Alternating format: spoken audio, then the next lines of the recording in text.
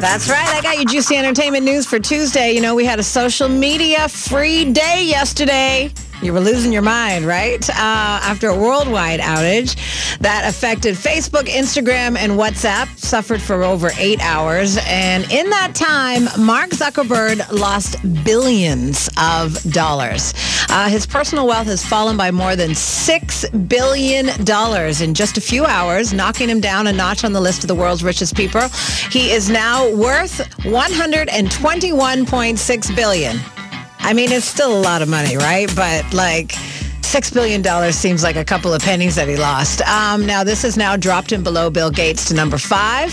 He is down from almost 140 billion in just a matter of weeks, according to the index. And in addition to the user access issues, Facebook's been having a terrible week in the press. Uh, whistleblower came forward and spoke out, making plenty of accusations against the company, revealing multiple internal practices. And all of this has contributed to some major losses. And of course, Facebook stocks dropped incredibly yesterday. You know, Twitter CEO Jack Dorsey was having a blast with that and uh, trying to bring Kanye on board. So uh, it's going to be interesting to see what happens uh, in the coming weeks to see if people have been pulling out of their Facebook stocks. Now, uh, little Rudy Huxtable has tied the knot. Keshia Knight Pulliam. She married actor Brad James, known for his role on Tyler Tyler Perry's For Better or For Worse. Uh, they began dating back in 2019 when they met on the set of Pride and Prejudice, Atlanta. And during quarantine, they got engaged. Last week, they were married in an intimate ceremony at their home. Um, Keshia said it wasn't the large destination that they had originally planned. Instead, it was intimate, whimsical, and full of love and laughter and joy. She said, absolutely perfect. COVID has definitely taught us to live in the moment and that the present is the greatest present that exists. Oh, I'm excited about this. HBO has unleashed the first look at the upcoming Game of Thrones prequel, House of the Dragon. House of the Dragon is set 200 years before the events of Game of Thrones. It's a story of the Targaryen dynasty and the civil war that scorched the house. Um, the House of the Dragon trailer doesn't exactly show us what the major plot line is, but there are plenty interesting moments. There's some action, incredible visuals, just what we would expect. Um, and we do get to see most of the main characters, but no dragons. Womp, womp, womp.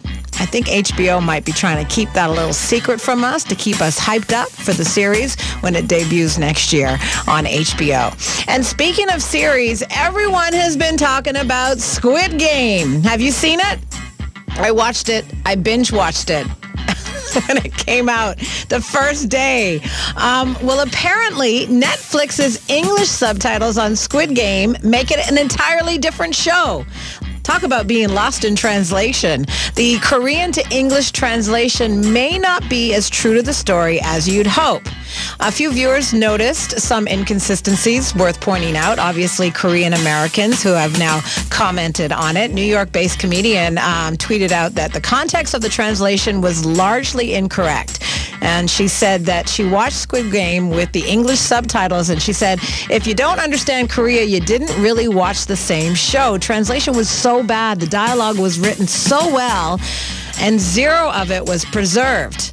Now, Netflix has not re- released a statement on the mistranslations, but they are being sued by a Korean company. A Korean internet provider is suing them after Squid Game caused a huge surge on their uh, their provider and huge surge in traffic, and now they want Netflix to cover the costs. We'll see how that turns out. And that's your juicy entertainment news for Tuesday. Make sure you lock it in again tomorrow, right here on the Juice for the all new on the all new Kiss 96.